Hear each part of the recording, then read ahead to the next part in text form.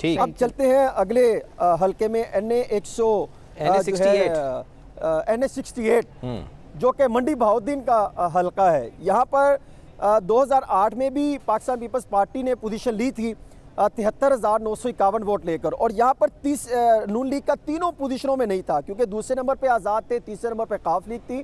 2008 में हमने देखा यहाँ पर नून लीग जो है वो दूसरे नंबर पर आई मुमताज़ साहब। उन्होंने तिहत्तर हज़ार सात सौ नवासी वोट लिए थे। और देखने को मिला था फिर उसके बाद जो है हाजी इम्तियाज़ साहब ने 2018 में तरीके इंसाफ की सीट यहाँ से जीती थी। एक लाख एक तीन लाख। सौ दो वोट लेकर।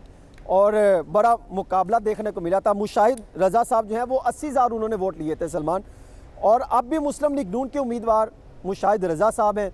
और उनके बाद पाकिस्तान पीपल्स पार्टी के आसफ बशीर साहब हैं। और जो मुमताज़ तारर साहब भी एक बहुत अहम किरदार है।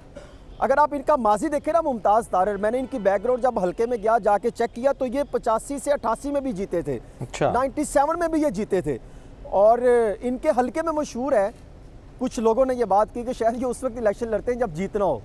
तो मैंने तो कहा ये तो आप माजी के तरीके बता रहे हैं लेकिन इस दफ़ा इस हल्के में मुमताज़ तारर साहब और नून लीग का मुकाबला भी है और तरीके इंसाफ के जो हमायत याफ्ता हैं हवाई जा, हवाई जहाज़ जिनका निशान है हाजी इम्तियाज़ अहमद चौधरी उनका भी मुकाबला होगा पिंडी मंडी बहाउद्दीन में। लेकिन यहाँ पर जो बल्दिया टाउन का कुछ इलाका है वो थोड़ा सा जो है वो मुमताज़ साहब को सपोर्ट कर रहे हैं और कुछ हल्के जो हैं पॉकेट जिसे हम कह सकते हैं कि सौ में से कुछ थर्टी परसेंट वो जो है वो देवान और मलिक का वोटर मौजूद है जो डिवाइड कर रहा है। और जो गुजर और तारर गोंदल है ना ये भी थोड़ा सा कुछ देहाती हलकों में डिवीज़न में है जो 2018 में किसी और को सपोर्ट कर रहे थे।